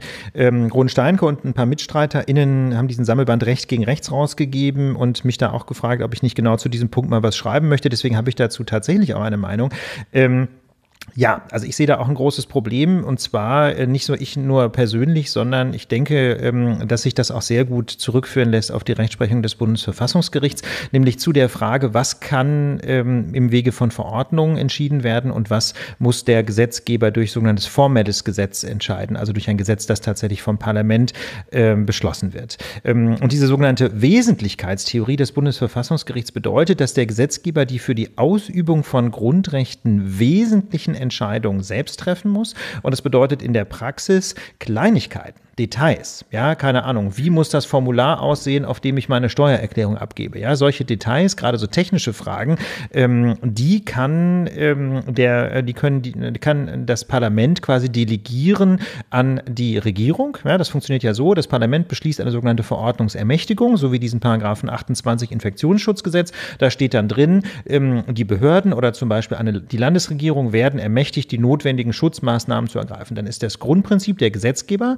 das Parlament Parlament beschließt die sogenannte Verordnungsermächtigung und da auf dieser Grundlage werden dann die Verordnungen von der Exekutive, von der Regierung, von Behörden erlassen. Ja, und das geht eben nur so weit, ähm, wie die wesentlichen Entscheidungen in der Verordnungsermächtigung stehen und quasi die technischen Details, die praktische Abwicklung dieser wesentlichen Entscheidungen dann in der Verordnung drinstehen. Also müsste quasi in diesem Gesetz viel genauer geregelt sein, wie, nach welchen Prinzipien oder so gegen die Pandemie vorgegangen werden muss? Oder was müsste da drin stehen? Man kann da äh, alle möglichen ähm, Theorien in den Raum stellen, was denn jetzt in diesem Fall der Pandemiebekämpfung die wesentlichen Entscheidungen sind. Aus meiner Sicht wären die wesentlichen Entscheidungen immer die, das, oder was heißt meine Sicht, also das Bundesverfassungsgericht macht es immer daran fest, ähm, was für die Ausübung von Grundrechten wesentlich ist. Das muss der Gesetzgeber selber entscheiden. Das würde aus meiner Sicht in diesem Fall bedeuten, ähm, dass dass der Gesetzgeber auf Bundesebene quasi einen Katalog möglicher Anti-Pandemie-Maßnahmen beschließen müsste. Also ich würde erwarten, dass in einem novellierten Paragraphen 28 Infektionsschutzgesetz drin äh, diese, ähm, diese Grundregel vielleicht sogar drinsteht. Die, die Behörden können die notwendigen Schutzmaßnahmen ergreifen. Insbesondere kann im Fall einer Pandemielage mit einer bestimmten Gefährlichkeit, das müsste man vielleicht noch ausführen, folgende Maßnahme getroffen werden. Und dann würde man, würde man denken, die Schließung von Betrieben, die Schließung von Schulen, die Schließung von Restaurants, Restaurants und so. Reisebeschränkungen. Reisebeschränkungen, mhm. Beherbergungsverbote, weiß der Geier. Also ich würde erwarten, dass der, dass der mhm. Bundesgesetzgeber einen Katalog denkbarer Maßnahmen zumindest auflistet. Das wäre die absolute Minimalregelung. Natürlich würde man immer so eine Generalklausel wie die notwendigen Schutzmaßnahmen drinstehen lassen, damit jetzt eben auch für zukünftige auftretende Bedürfnisse irgendwie Raum ist. Aber man würde das ergänzen. Typischerweise ist die Regelungstechnik dann über insbesondere. Also man lässt eine Generalklausel drin und schreibt dann aber insbesondere kann das und das und das passieren.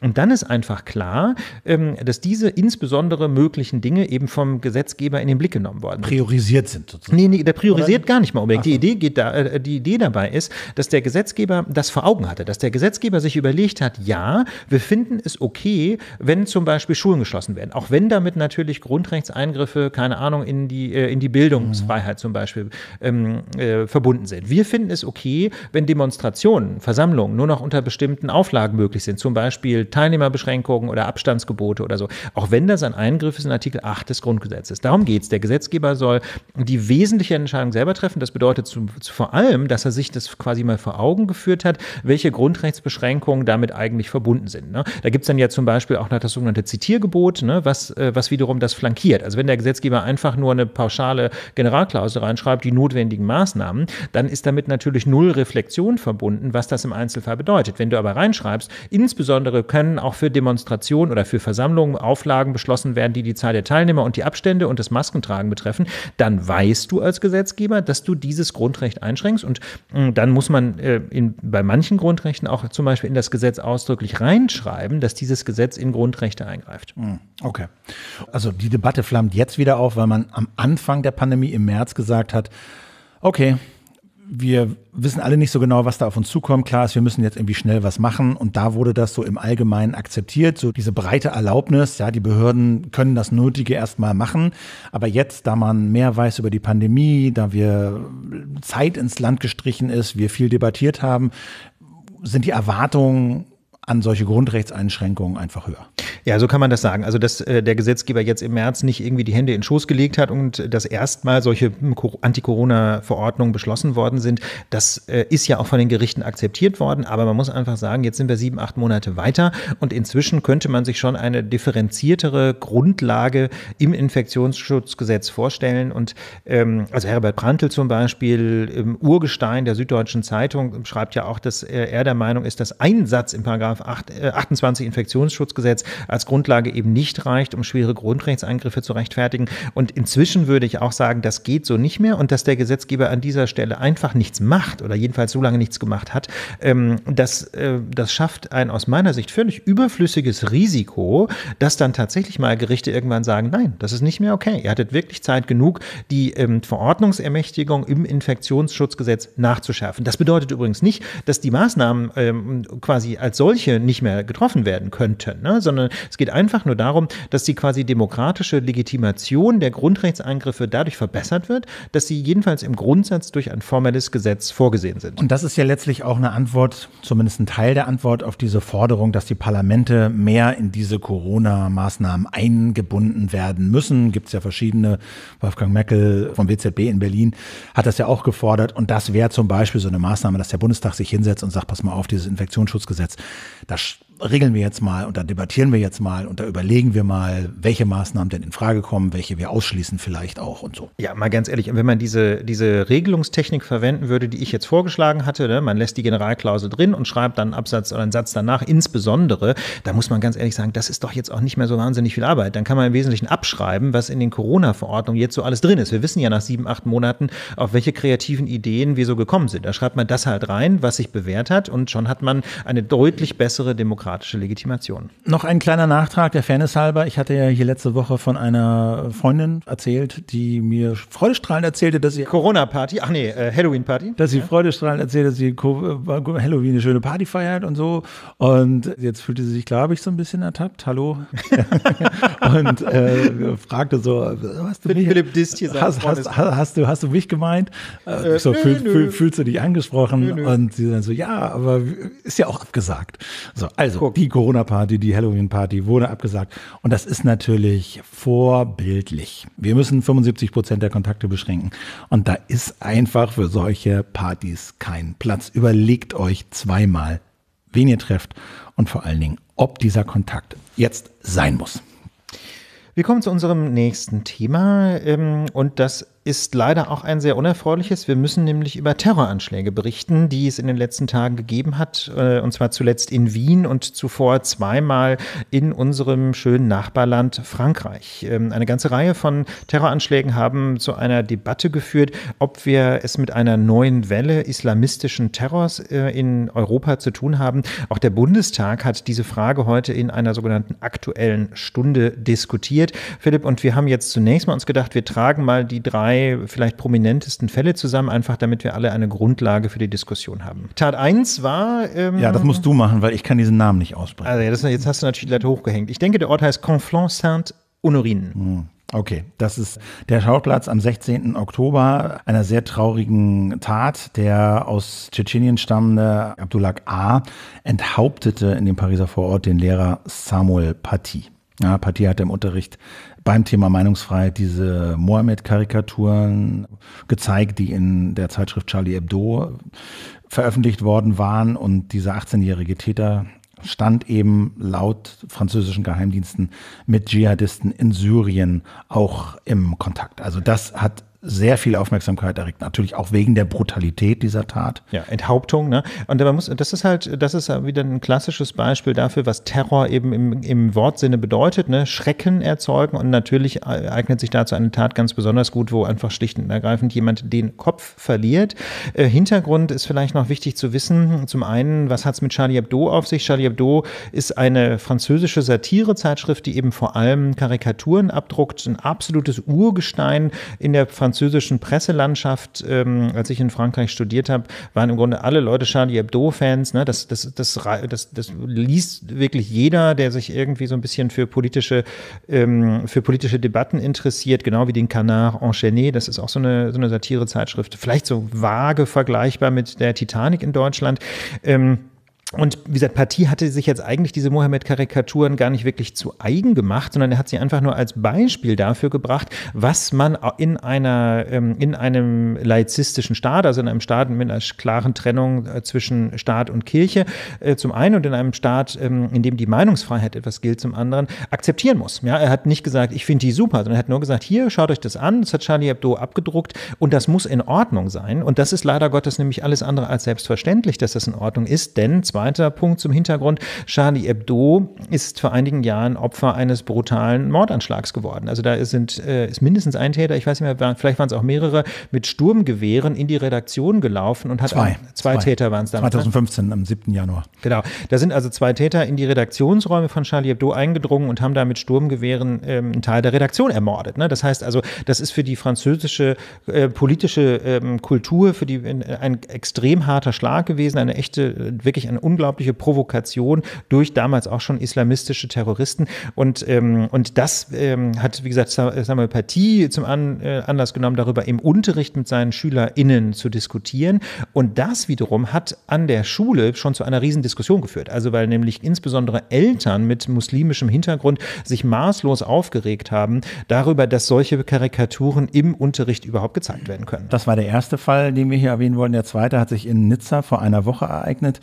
Da gab es eine Attacke in der Kirche Notre Dame, bei der zwei Menschen getötet wurden und dann später noch ein weiterer Mensch getötet wurde. Und der mutmaßliche Täter, Brahim A., ist von der Polizei schwer verletzt worden und befindet sich jetzt, glaube ich, im Krankenhaus. Äh, Brahim A. stammt aus Tunesien. Die SZ schreibt, dass der 21-Jährige im September mit anderen Migranten und Migrantinnen über die italienische Lampedusa in die EU eingereist sei und die SZ vermutet, Brahim A.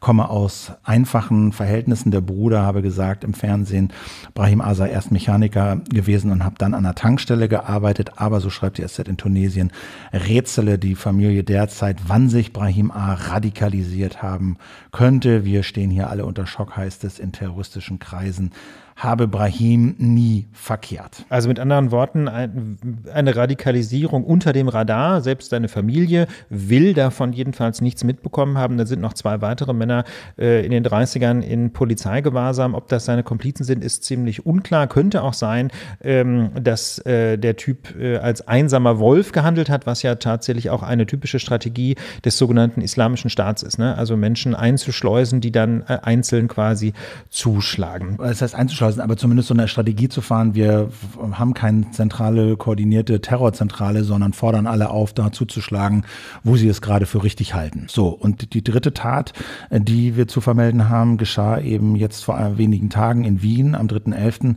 In der Innenstadt eröffnet jemand, äh, ein, ein Radikaler, das Feuer auf Passanten, feuert wild um sich, vier Menschen werden getötet äh, und ein Polizeibeamter, der sich einem dieser Täter in den Weg gestellt hat, wurde angeschossen und verwundet verwundet. 22 weitere Menschen sind zum Teil schwer verletzt worden. Ähm, einige davon schweben weiter in Lebensgefahr und man kann sich das leicht vorstellen. Ja, das also, das war äh, an einem Sonntagabend. Das war der letzte Abend, genau wie in Deutschland, auch vor einem partiellen Lockdown in, Mildes Ö Wetter, ne? in Österreich. Ja. Und ähm, ganz viele Menschen saßen da auch zum Beispiel in Straßencafés und ähm, da gibt es so einen wunderschönen Namen dafür, Philipp. Fällt dir dir gerade ein? Für, für Straßencafés in Wien, da gibt es so ein wunderschönes österreichisches Wort dafür. Fällt mir leider gerade nicht ein.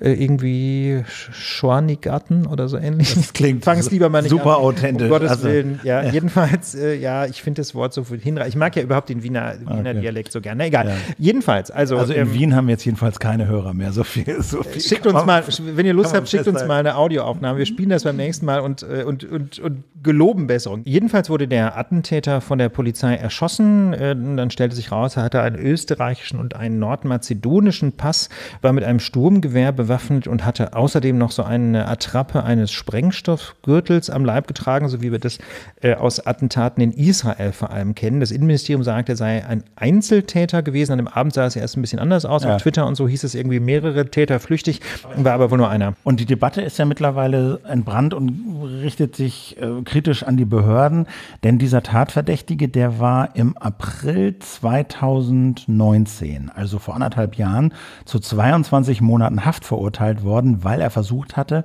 sich dem Islamischen Staat in Syrien anzuschließen. Und im Dezember, also dreiviertel Jahr später, ist er dann aber vorzeitig aus der Haft entlassen worden und der österreichische Verfassungsschutz hat dann nach Angaben der SZ äh, nach der Haftentlassung die Observierung des späten mutmaßlichen Täters nämlich eingestellt.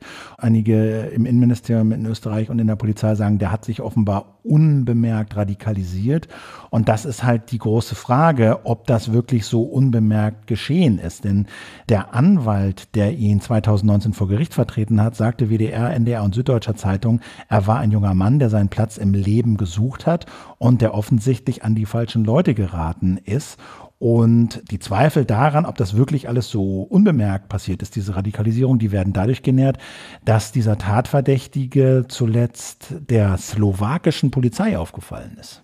Ja, ganz genau. Hat er nämlich offenbar versucht, Munition für seine automatische Waffe, eine Zastava M70 aus Serbien zu kaufen. Ähm, und das war genau die Waffe, die er dann später nach Erkenntnissen der Ermittler in Wien einsetzte. Die slowakische Polizei hat diesen Versuch, Munition zu kaufen, auch sofort nach Österreich gemeldet. Und dort heißt es dann so schön vom Innenminister Nehammer, Zitat, in den weiteren Schritten ist hier offensichtlich in der Kommunikation etwas schiefgegangen. Auf Deutsch, die österreichischen Behörden haben diesen Hinweis verschlammt. Genau, und dann gibt es noch eine Debatte darüber, weil die, das Innenministerium und die Polizei sehr kurz nach der Tat 15 Hausdurchsuchungen durchgeführt hat.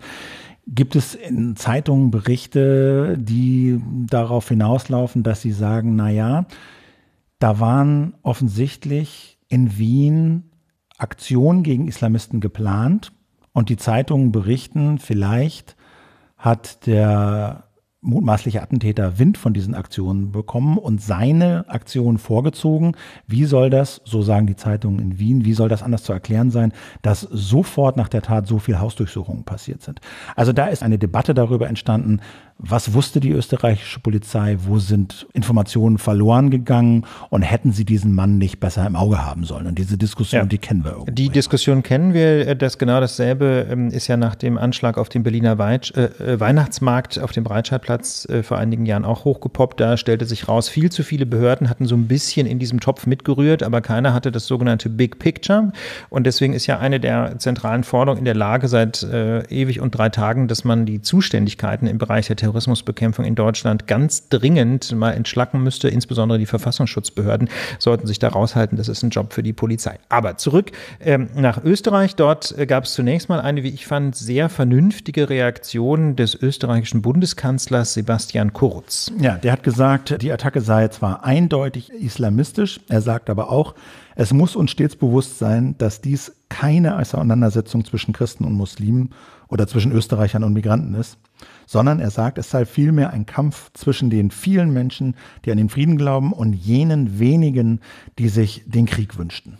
Und da ist was Wahres dran. Da ist was Wahres dran und ich finde das außerordentlich vernünftig, denn gerade Sebastian Kurz ist ja auch, wie soll ich sagen, so äh, eines doch manchmal recht aggressiven Flirtens mit rechtsextremen Positionen nicht völlig unverdächtig. Ne? Also mit anderen Worten, äh, da geht es, geht es schon mal ziemlich hart zur Sache gegen Menschen mit Migrationshintergrund und dass er in dieser Situation jetzt eben sich nicht hinreißen lässt, irgendwie äh, gegen den Islam zu stänkern, sondern dass er ganz klar sagt, wir müssen jetzt, jetzt mal zusammengefasst, wir müssen versöhnen und nicht spalten, wir müssen besser integrieren, äh, und auf gar keinen Fall eine Frontenbildung zulassen. Ja, Christen und Muslime müssen eben friedlich miteinander leben. Das finde ich wirklich sehr, sehr beeindruckend. Also hat mich sehr gefreut, äh, das zu lesen. Genau, und die Frage ist jetzt, äh, die wir auch am Anfang gestellt haben, die hat die SZ dann so formuliert, gibt es Muster, die nahelegen, dass die Terrormiliz Islamischer Staat die Angriffe koordiniert hat? Gibt es nach den Attacken von 2015 eine zweite Welle des islamistischen Terrors gegen Ziele in Europa? Ja, da muss man natürlich sagen, der Terror war sicherlich nie weg. Ne? Es gab natürlich durchgehend einige islamistische Gefährder in Europa. Wir kommen gleich noch zu den näheren Zahlen.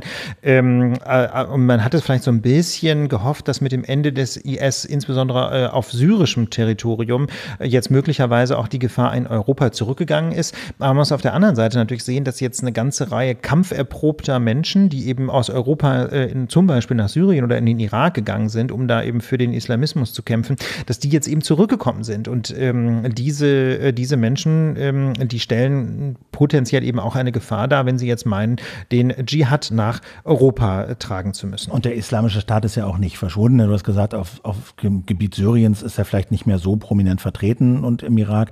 Aber viele von diesen Leuten sind nach Afrika, in den Jemen gegangen oder kämpfen im Bergkarabach oder so. Oder also sonst die, wo. Ne? Die Leute ja. sind ja nicht vom Erdboden verschwunden.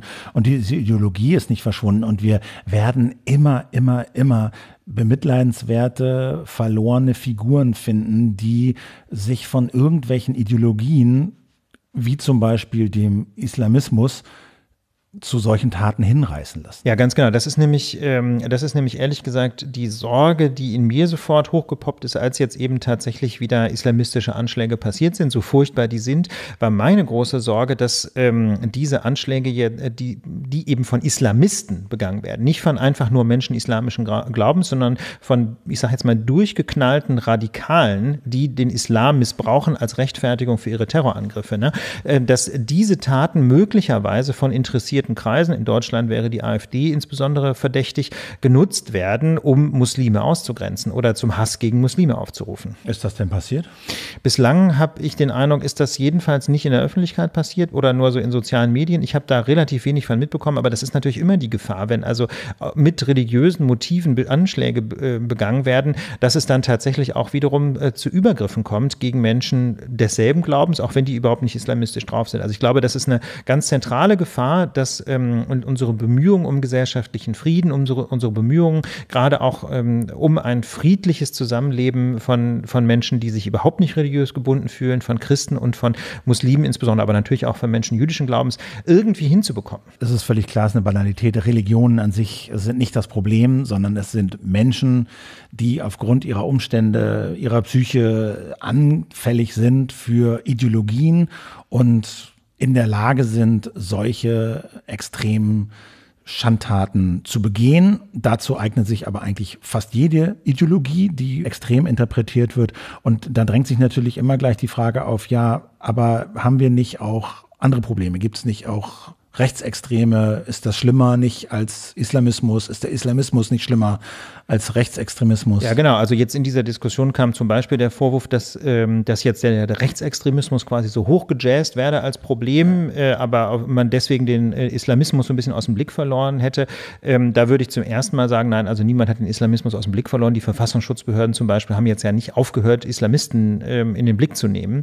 Ähm, vor allem aber, finde ich, lohnt sich einmal der Blick auf die Zahlen. Ja, also ähm, und da fallen doch schon enorme Unterschiede auf zwischen der Gefahr durch islamistische Gefährder und rechtsextreme Gefährder. Ähm, nach Angaben des Bundesministeriums des Innern und für Heimat ähm, gibt es zurzeit in Deutschland etwa 615 islamistische Gefährder. Das sind Gefährder sind dabei Menschen, denen die Behörden einen schweren Anschlag zutrauen. Etwa 350 von ihnen leben in Deutschland. Die übrigen sind ausgereist. Ähm, auch diese 350, die zurzeit in Deutschland leben, kann man leider nicht komplett überwachen. Ja, da fehlt es einfach am Personal. Ähm, der Präsident des Bundesamts für Verfassungsschutz, Herr Haldenwang, sagt, wir müssen einfach wachsam sein. Nachahmertaten seien nicht unwahrscheinlich. Die Gefährdung sei weiterhin hoch. Aber wie gesagt, 615 Gefährder, davon 350 in Deutschland. So, und wie sieht es jetzt an, auf der rechtsextremen Seite aus? Da gibt es ungefähr 15.000 gewaltbereite Rechtsextremisten. 15.000 ich weiß nicht, ob die Messlatte da dieselbe ist.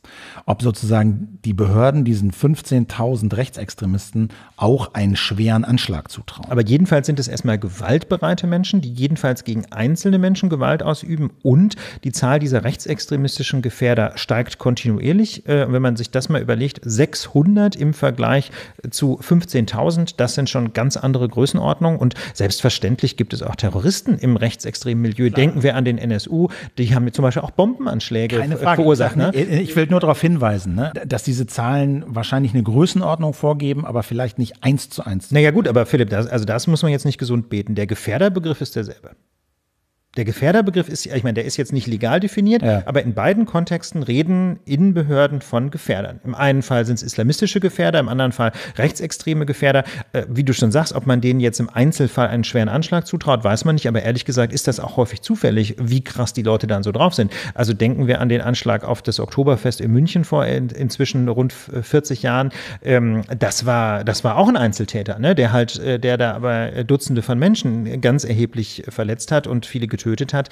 Ähm, mitunter werden nur einzelne Menschen getötet. Ne? Denken wir an den Mordanschlag in Kassel äh, im Sommer 2019 war es.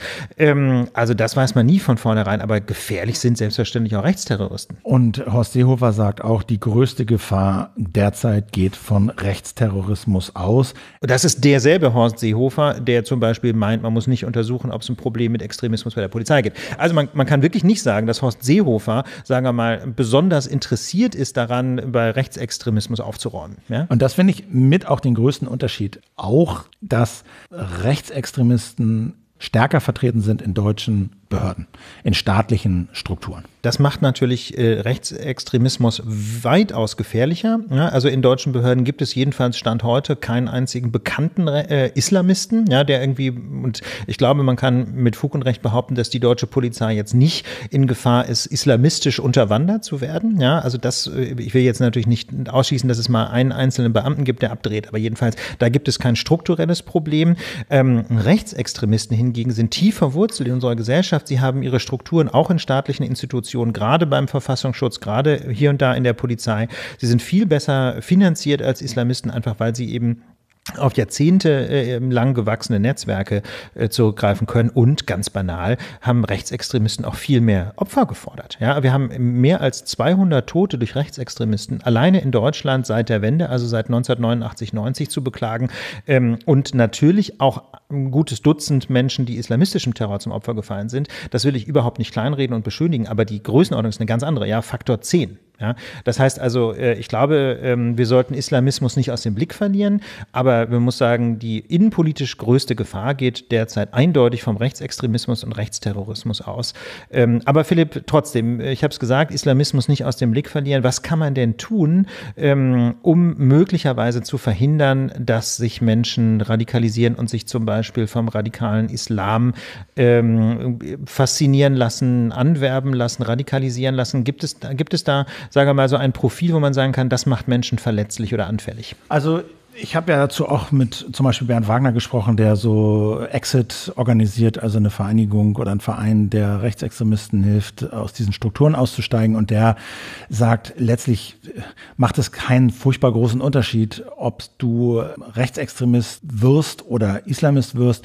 Das betrifft halt häufig Menschen, die alleine sind, die isoliert sind von ihrem Sozialraum, die in schwierigen Verhältnissen leben, die sich nicht aufgehoben fühlen und anfällig sind für solche extremistischen Haltungen, die ihnen irgendwie Bedeutung versprechen. Das scheint mir doch ein Muster zu sein, dass du solchen Tendenzen und solchen Taten am besten vorbeugen kannst, indem du eine möglichst gute Integration solcher Menschen hast, indem du eine Gesellschaft hast, die möglichst gut auf ihre Leute aufpasst, rechtzeitig mitkriegt, wenn Jugendliche, meistens sind es ja Männer, Probleme haben, sich zurückziehen, sich radikal äußern, dass du halt Strukturen hast, um da eingreifen zu können, um mit ihnen reden zu können, um dich quasi in so einer Einzelfallbetreuung mit ihnen beschäftigen zu können. Ja, ich denke auch, also gerade der Blick nach Frankreich macht, glaube ich, sehr gut deutlich, ähm, wo tatsächlich das Problem hier liegt. Ähm, denn in Frankreich ist es ja äh, schon fast ein Stereotyp, dass äh, solche islamistischen Attentäter eben sehr häufig in den, ähm, in den Vorstädten großer Städte aufwachsen und sich da in irgendwelchen äh, großen Betonsilos radikalisieren. Ne? Also in quasi in so Plattenbausiedlungen, ähm, die sich sehr häufig in Frankreich zu sozialen Brennpunkten entwickeln, ja, den sogenannten Banlieues. Also Banlieue heißt zunächst mal neutral, einfach nur Vorort, aber ähm, Banlieues sind in inzwischen auch synonym für extrem prekäre Lebensverhältnisse geworden, einfach weil in diesen Betonburgen in den Vorstädten, vor allem von Paris und anderen Großstädten wie Marseille, Lyon und so, eben die Lebensumstände sehr schlecht sind. Und da sammeln sich die Menschen, die quasi von der französischen Gesellschaft äh, ausgestoßen sind, die letztlich keine faire Chance bekommen, die schon eine schlechte Schulbildung genießen, äh, auf dem Arbeitsmarkt kaum eine Chance haben. Und ähm, ich sag mal, solche, solche Loser, jetzt mal etwas platt zusammengefasst, sind natürlich viel leichter ansprechbar, gerade für islamistische ähm, Ideologie, einfach weil sie von der französischen Gesellschaft insbesondere sich jedenfalls ausgestoßen fühlen. Sie bekommen keine Chance von der Gesellschaft, so wächst Hass gegen die Mehrheitsgesellschaft Gesellschaft und der lässt sich dann eben sehr leicht auch islamistisch aufladen. Ne? Also ähm, da muss man, glaube ich, einfach sagen, äh, die beste Präventionsarbeit ist nicht Polizei oder Geheimdienst, sondern die beste Präventionsarbeit ist, dass man Geld in Schulen und Bildung steckt. Zum Schluss noch ein kleiner Programmhinweis in eigener Sache. Ich habe ja noch so einen anderen Podcast, der nennt sich Das Interview mit Philipp Banse. Äh, das bin ich, wie ihr wisst. Und ich habe in dieser Woche gesprochen mit Christoph Trautvetter. Der war früher bei der Unternehmensberatung KPMG und ist heute beim Netzwerk Steuergerechtigkeit. Und ich habe mich ausführlich zwei Stunden mit ihm unterhalten über Steuerhinterziehung, Schwarzgeld und auch ganz interessant Sachen erfahren darüber, wie man eigentlich digitale Großkonzerne, die ja keine Fabriken irgendwo rumstehen haben und trotzdem ihre Produkte rund um den Globus verkaufen, und dort Umsätze machen, wie man die eigentlich gerecht besteuern kann. Und da geht es um russische Waschmaschinen, das ist zum Beispiel ganz lustig. Russische, was, was die russische Waschmaschine ist? Da haben Kriminelle aus Russland 10 Milliarden, also weiß man natürlich nicht so genau, aber irgendwie so die Größenordnung, gewaschen in Europa. Und dann ist mal die Frage, ja, wie kriegst du denn das Geld nach Europa? Und einen Teil des Geldes haben sie so legal auf Konten gekriegt, indem sie in Rumänien oder Moldawien Richter bestochen haben. Und dann sind sie dort mit Firmen aufgetreten, die ihnen gehören. Also die eine Firma gehört ihnen und die andere mhm. Firma gehört ihnen und die eine Firma verklagt die andere. Und der Richter entscheidet, ja, die eine Firma muss der anderen Firma 300 Millionen Euro Schadenersatz für so einen fingierten Fall zahlen. Dann wandern 300 Millionen Euro rüber auf ein Konto. Die Bank sagt, okay, gibt ja ein Gerichtsurteil. Und so sind also diese 300 Millionen legal auf ein Konto gewandert. Also da sind ganz interessante Sachen. Und was Deutsche Bagger mit dieser ganzen Sache zu tun haben, haben wir dann auch besprochen. Unter anderem geht es aber auch darum, dass es halt auch Fortschritte gegeben hat in dieser Bekämpfung von Schwarzgeld. Zum Beispiel, wusste ich auch nicht, müssen Schweizer Banken jetzt den deutschen Fiskus melden, wenn Deutsche dort ein Konto haben. Und sie müssen melden, was auf diesem Konto passiert, wie viel Geld da drauf ist und was abgeht. Und er sagt, für Leute mit mittelfiel Kohle ist das tatsächlich eine Prävention gegen Steuerhinterziehung. Aber er sagt, wenn du richtig viel Geld hast, dann hast du Schlupflöcher, weil dir reicht ein zweiter Pass. Also die Banken müssen abfragen, wenn du ein Konto öffnest, wo zahlen sie denn ihre Steuern? Und wenn du nur einen Pass hast aus Deutschland, musst du den vorlegen und dann ist klar, okay, die müssen das nach Deutschland melden. Wenn du aber einen zweiten Pass hast, mit einer zweiten Steuernummer. Von den Bahamas vielleicht. Nennen wir es nicht Bahamas, sondern sagen wir irgendein Land aus der EU, zum Beispiel Zypern, dann kannst du das machen. Genau, also direkt der Staat verkauft einen Pass man muss sich dann äh, bei einer Anwaltskanzlei in Zypern meistens melden und die kontrolliert dann, dass man auch ehrlich ist. Und wenn man nicht ehrlich ist, muss man auch mal eine Million draufzahlen und dann kriegt man den Ausweis trotzdem. Das wurde gestern auch sehr schön demonstriert. Ja? Also wenn jemand kommt mit 2,5 Millionen, dann äh, kriegt er auch einen Termin beim, äh, beim Parlamentspräsidenten in Zypern, der dann dafür sorgt, dass er an den Regeln vorbei seinen, äh, seinen Pass trotzdem kriegt. Ja, also mit der richtigen Geldmenge kann man sich äh, so eine Steuer-ID kaufen. Und dann geht man jetzt wieder zu seiner Schweizer Bank. Und die Schweizer Bank muss eigentlich alle Steuer-IDs, also nicht nur eine, sondern alle erfassen. Und die Bank fragt, ja, wo sind Sie denn steuerlich ansässig? Dann sage ich so, hier ist mein zypriotischer Pass und meine zypriotische Steuernummer. Und die Bank sagt, haben Sie denn noch andere? Und ich sage, nein. Und dann fragt die Bank, aber Sie sprechen doch Deutsch, ist doch jetzt nicht so zypriotisch. Und dann sagt, ne, ich bin nach Zypern umgezogen. Und dann sagt die Bank, okay, keine weiteren Fragen, wir melden dich. Von diesen Geschichten gibt es eine ganze Menge, könnt ihr mal reinhören, das Interview, wo immer ihr Podcasts hört.